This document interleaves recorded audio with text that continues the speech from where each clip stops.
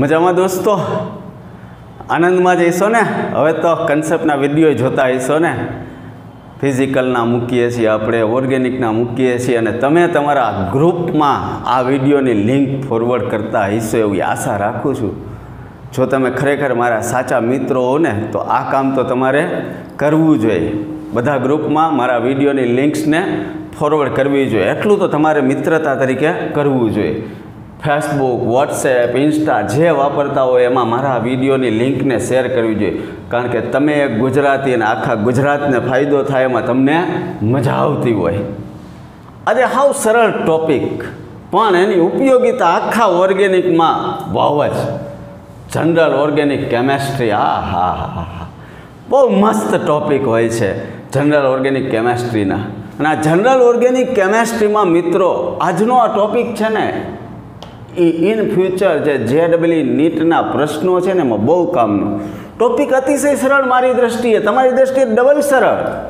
છતાંય મને એમ થયું કે મૂકી દઉં topic carbocation carbanion, carb રેડિકલની સ્થિરતા. અને આ સ્થિરતાને આધારે તમે એસિડિટી અને બેઝિસિટી એટલે એસિડિકતા અને બેઝિકતાનો ક્રમ નક્કી કરો છો.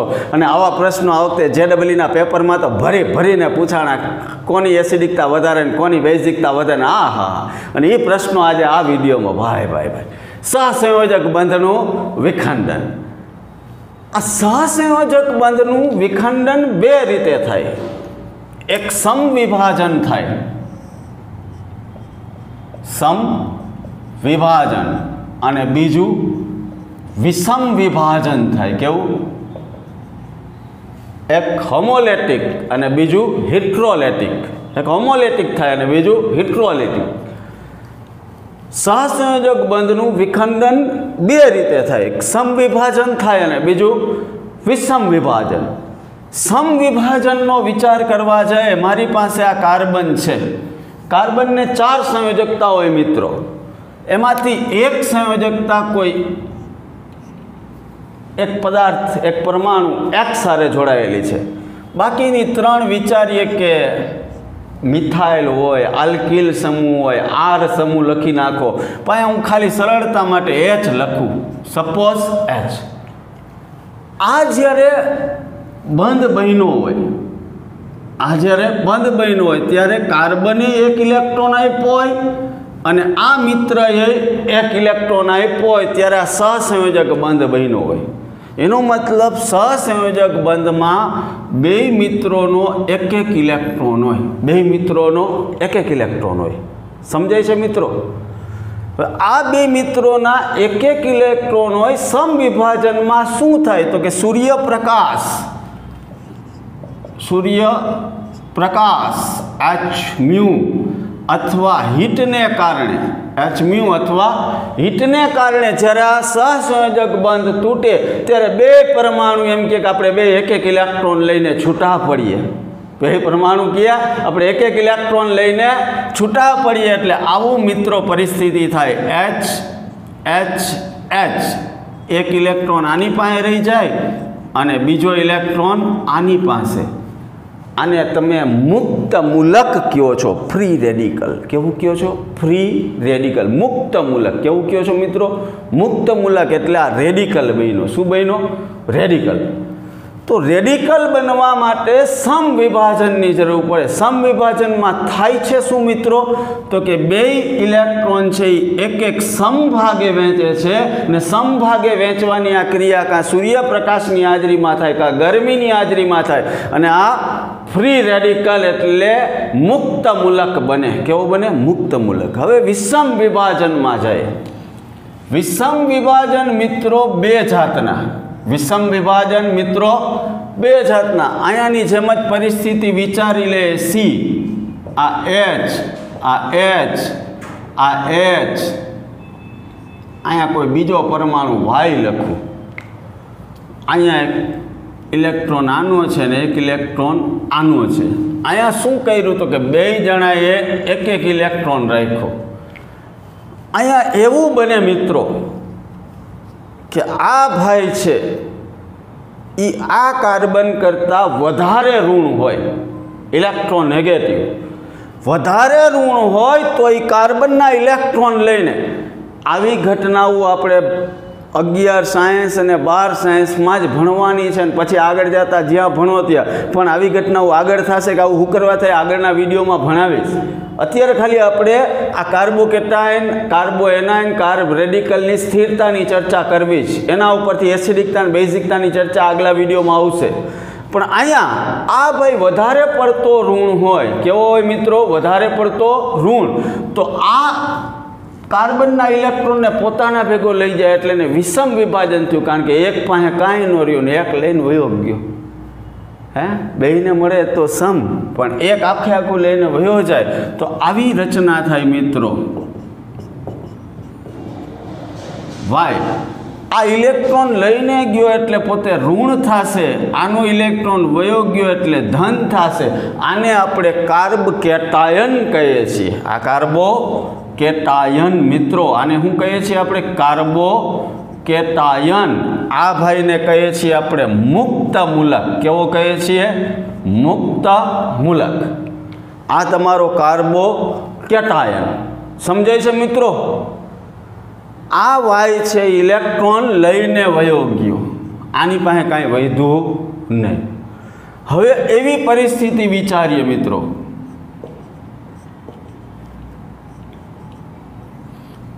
આ ઝેડ લઈએ અહીંયા બેયના સહસંયોજક બંધના બેયના ઇલેક્ટ્રોન હતા જ. બેયના ઇલેક્ટ્રોન હતા જ.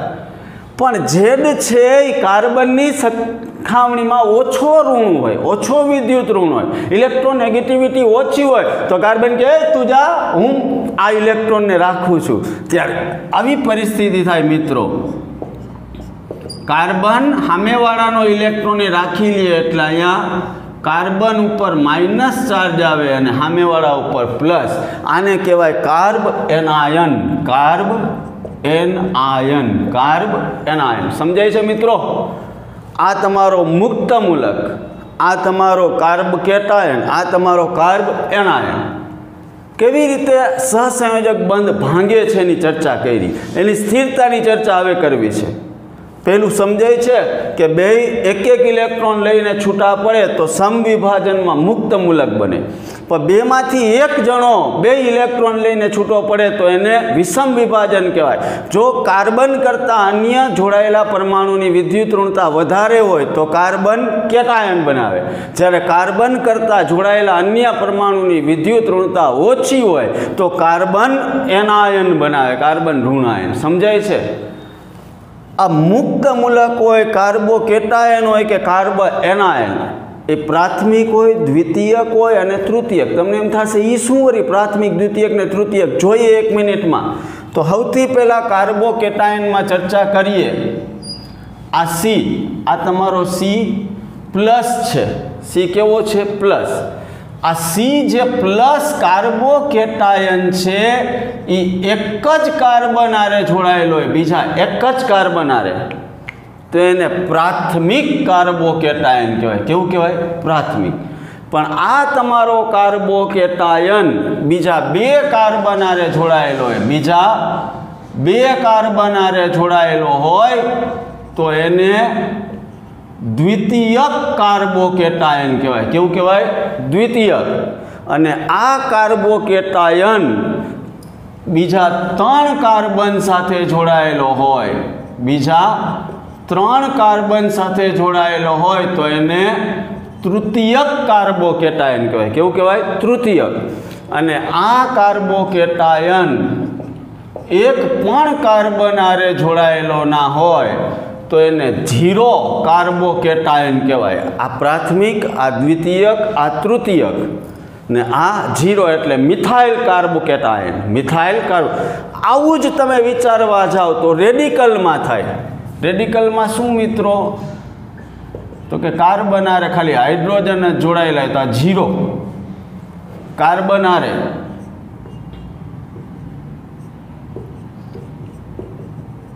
આ કાર્બન રેડિકલ કાર્બન એટલે મુક્ત મૂલક છે ને એક જ કાર્બન જોડાયેલો હોય તો આ પ્રાથમિક, આ ઝીરો ડિગ્રી, આ પ્રાથમિક ડિગ્રી, આ બે કાર્બન આરે જોડાયેલો હોય. મુક્ત મૂલક કેટલા જોડાયેલો? બે કાર્બન, તો એને દ્વિતીયક કહેવાય. મુક્ત મૂલકનો કાર્બન બીજા ત્રણ કાર્બન આરે જોડાયેલો હોય, બીજા ત્રણ કાર્બન આરે, તો આને તૃતીયક કહેવાય. સમજાય છે મિત્રો? પ્રાથમિક દ્વિતીયક તૃતીયક કોને કહેવાય? તો કે કાર્બોકેટાયન બીજા એક કાર્બનાર જોડાયેલો હોય તેને પ્રાથમિક. કાર્બોકેટાયન બીજા બે કાર્બનાર જોડાય, દ્વિતીય. કાર્બોકેટાયન બીજા ત્રણ કાર્બનાર જોડાય તૃતીયક એવું જ રેડિકલમાં, એવું જ કાર્બે એનાયનમાં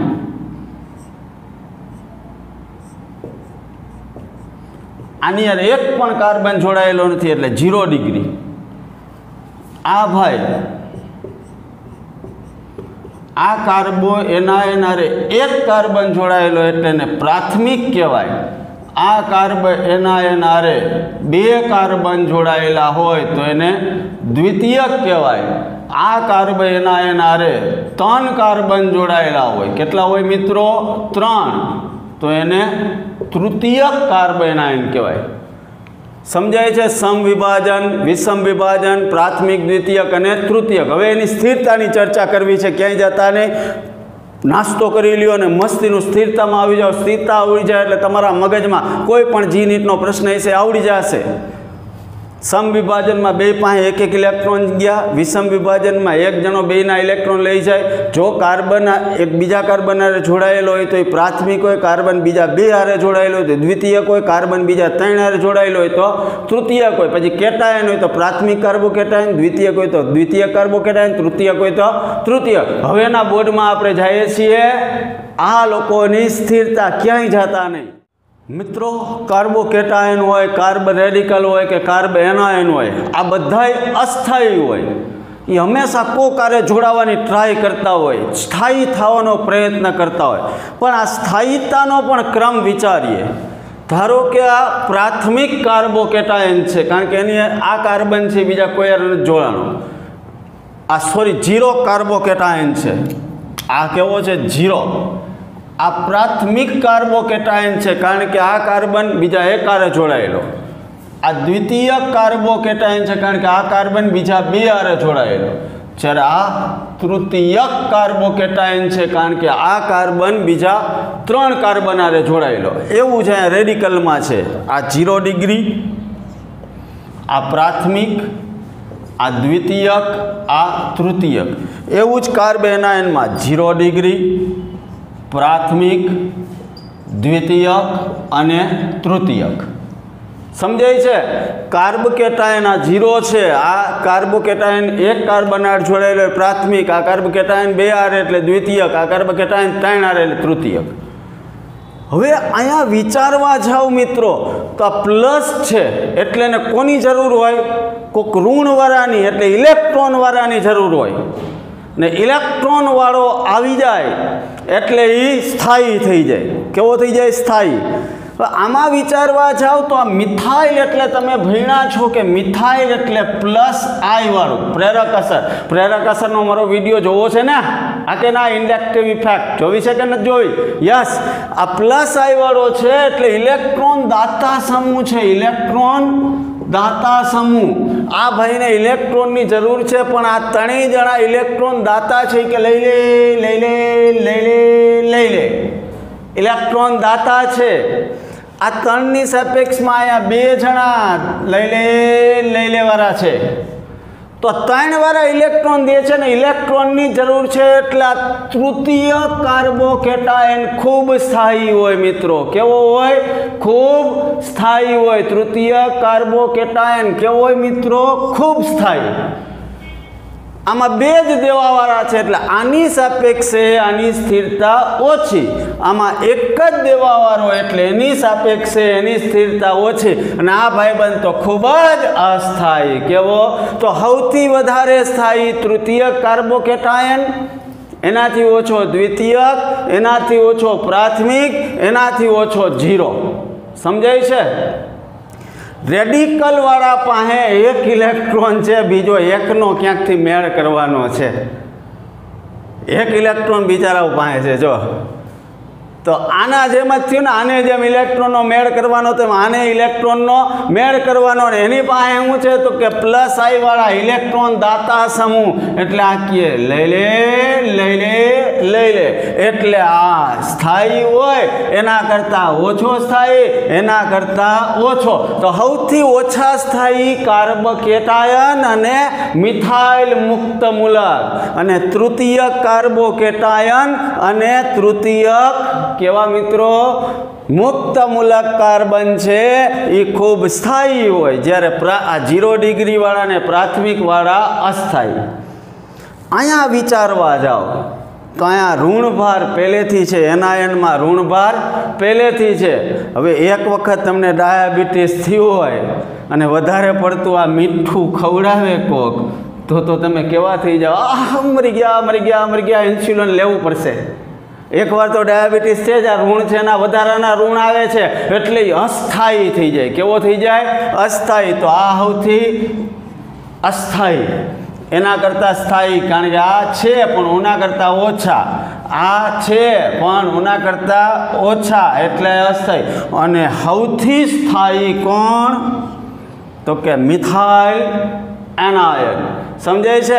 આ ઋણ ભારવાળો છે ને વધારાના ઇલેક્ટ્રોન આવે, ડાયાબિટીસ મીઠાઈ જમાડ્યા જમાડ્યા એટલે અસ્થાયી થઈ જાય. આ અસ્થાયી ઓછો સ્થાયી એના કરતાં વધારે સ્થાયી એના કરતાં વધારે સૌથી સ્થાયી મિથાઇલ એનાયન, એટલે ઝીરો ડિગ્રી પ્રાથમિક કરતાં દ્વિતીયક ઓછો સ્થાયી અને દ્વિતીયક કરતાં તૃતીયક. તો આ મિત્રો આવડી જાય એટલે બાર સાયન્સમાં કોઈ પણ એસિડિકતા અને બેઝિકતાના પ્રશ્નો આવડી જ જાય. મળતા રહેશું, યાદ રાખજો અને મિત્રોને આ વીડિયો ફેલાવજો. મજા આવતી હોય તો જય સ્વામિનારાયણ.